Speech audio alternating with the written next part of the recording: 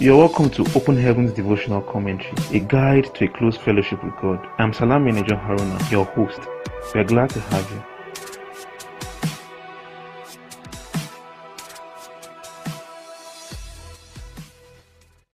Hello, good day, and thank you for joining us today again. Open Heavens is written by our Father and the Lord, Pastor E. A. Adeboye, the General Overseer of the Redeemed Christian Church of God.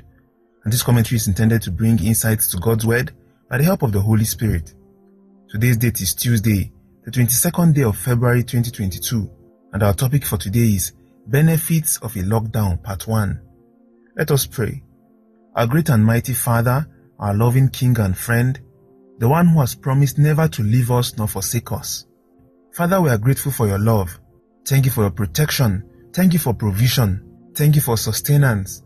Indeed, we say be exalted in the name of Jesus. Lord, we are about to go into your word. We ask that you would come and open the eyes of our understanding. Help us today to receive inspiration and guidance. Please speak to our situations and address every troubled heart. In Jesus' name we have prayed. Amen. Praise the Lord. You're welcome back. Our memory verse for today is from the book of Psalm 27 verse 5. Psalm 27 verse 5 reads, For in the time of trouble he shall hide me in his pavilion. In the secret of his tabernacle shall he hide me. He shall set me up upon a rock. Psalm 27 verse 5. Our scripture reading for today is from the book of 1 Samuel chapter 22 from verse 1 to 2. 1 Samuel 22 from verse 1 to 2 reads, David therefore departed thence and escaped to the cave Adullam. And when his brethren and all his father's house heard it, they went down thither to him. And everyone that was in distress, and everyone that was in debt, and everyone that was discontented, gathered themselves unto him, and he became a captain over them, and there were with him about four hundred men. God bless the reading of his word in Jesus' name. Amen. Praise the Lord. The topic we are studying one more time for today is Benefits of a Lockdown, Part 1. And in our devotional today, our Father in the Lord tells us that one lesson or benefit of a lockdown is the opportunity to develop one's hidden potential. The hustle and bustle of day to day human activities often rob us of the opportunity for meditation and spiritual growth. Had it not been for the lockdown David suffered when he was running away from his sworn enemy, King Saul, he would not have been able to develop his leadership potential and produce great warriors from the downtrodden, distressed, and discontented young men of Israel that formed his first army. 1 Samuel chapter 22 verse 2 reads, And everyone that was in distress, and everyone that was in debt, and everyone that was discontented, gathered themselves unto him, and he became a captain over them, and there were with him about 400 men. The result of David's lockdown in the cave of Adullam is evident in the account of those people regarded as vagabonds, who became mighty men of valor in his army, as written in 2 Samuel chapter 23. One of them, the son of Dodo, was described thus, and after him was Eleazar, the son of Dodo, the Ahohite. He arose and smote the Philistines until his hand grew weary and his hand clave unto the sword. And the Lord wrought a great victory that day. And the people returned after him only to spoil. 2 Samuel 23 verse 9 to 10. A time of lockdown, whichever form it takes, should be spent in such a way as to bring the best out of us. David was not sitting to brood over his troubles when being pursued by King Saul. He used the period of his lockdown to develop his military acumen and raise an army of men who would eventually become his generals. Little wonder he had a standing army in contrast to the ad hoc army of his predecessor. Beloved, during your period of low estate, find out what God would want you to do, and it will surprise you that you will come out stronger to do exploits. In whatever situation you may find yourself, ask the Almighty God to open your eyes to lessons to be learned and opportunities to be seized, just as Joseph did, rising from being a prisoner to becoming the prime minister. Genesis chapter 40 to chapter 41. God bless His word to us today in Jesus' name. Amen. Praise the Lord. Our topic for today's devotional one more time is Benefits of a Lockdown Part 1. It may interest you to know that the victorious and exemplary Christian life is not one that is without downtimes. God has never promised us that we'll live a life without any issue at all. He however tells us in Isaiah chapter 43 verse 2 that when thou passest through the waters, I will be with thee, and through the rivers, they shall not overflow thee. When thou walkest through the fire, thou shalt not be burned, neither shall the flame kindle upon thee. Consider carefully that it says, when thou passest through the waters. It is not saying, if thou passest. The word there is an assurance that we will definitely pass through the waters. It says, when thou passest. We may not have the assurance of living a life without a fight. The assurance that God has given us is that even through the fights, He would be right there with us. Even through those down times and those down moments, we would not be overtaken by them. Hallelujah. Talking about lockdowns like in the context of our devotional today, we can understand it to mean a trying or a challenging time in a person's life. In the case of David that we considered, for example, in today's devotional, he was on the run. He was running away from his sworn enemy, King Saul. That very moment, King Saul would kill him at the slightest opportunity. So his stay at the cave of Adullam was a really trying moment for him. But we can understand from scripture and our devotional today that in the end, he came out bigger, better, and stronger. His period of stay at the cave of Adullam was not one that was spent in lamenting. That is one lesson we must learn as believers.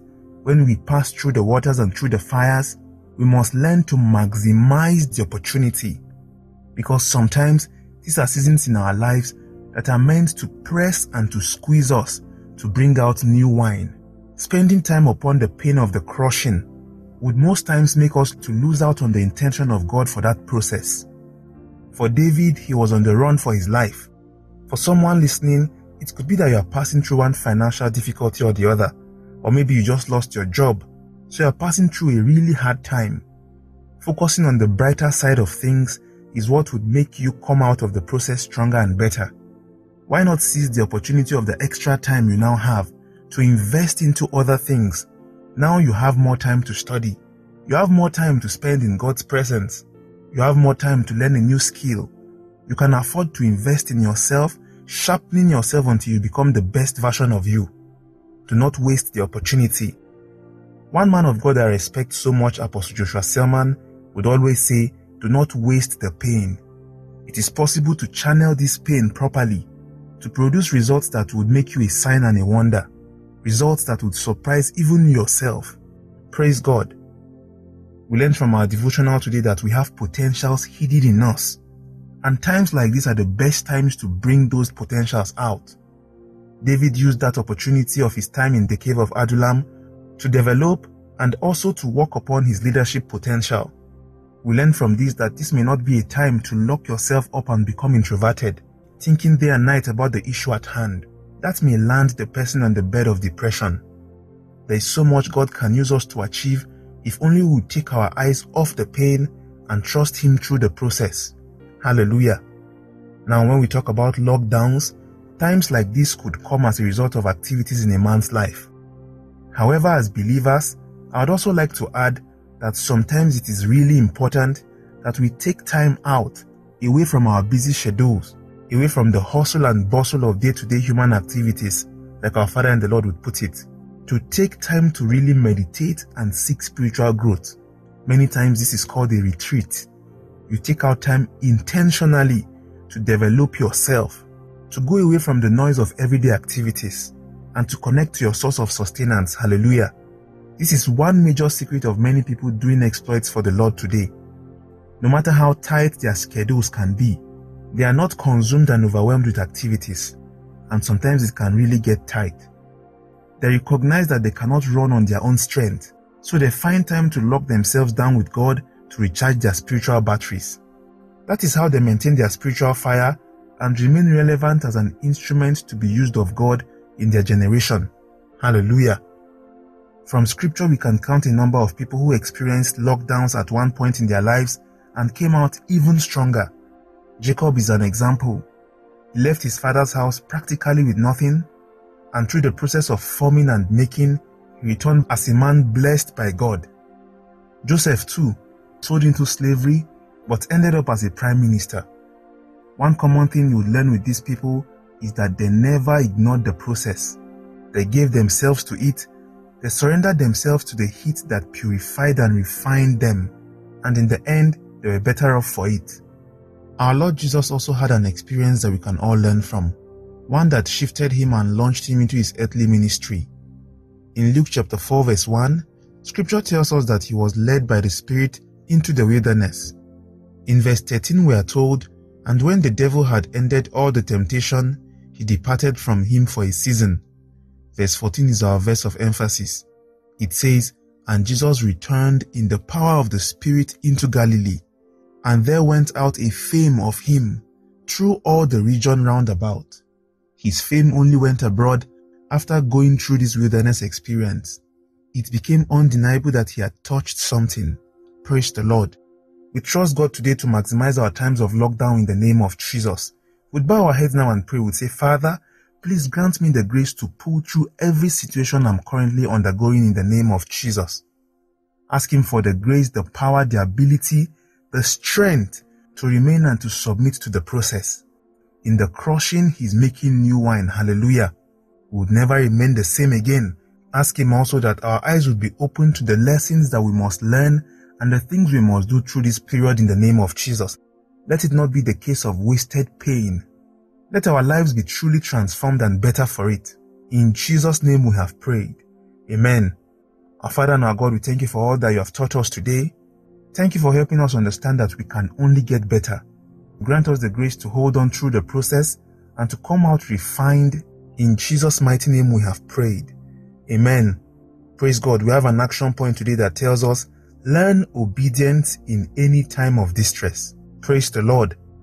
Obedience could prove to be very tough when we pass through distress, but we receive the grace today to submit to obedience, to learn obedience at all times in Jesus' name. We have in our Bible in one year reading plan for today to read from the book of Numbers chapter 32 down to chapter 33. Hallelujah. We'd also appreciate you for joining us today. We trust God that you have been blessed. God bless you. If you'd love to speak to someone or to receive updates like this sent to you daily, please send a WhatsApp or Telegram message to plus 234 80 986 11226. As you go for today, receive the grace to be transformed into God's intended version of you in Jesus' name. Have a great day ahead. See you tomorrow again and bye for now.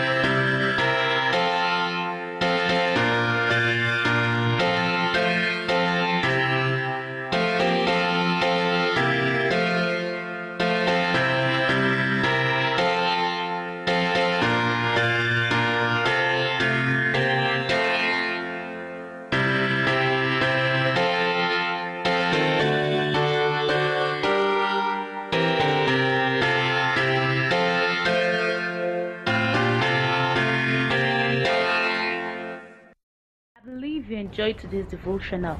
We'd love to hear from you. Kindly leave a comment. You can connect with us on any of our social media handles attached. God bless you. Have a great day and see you tomorrow.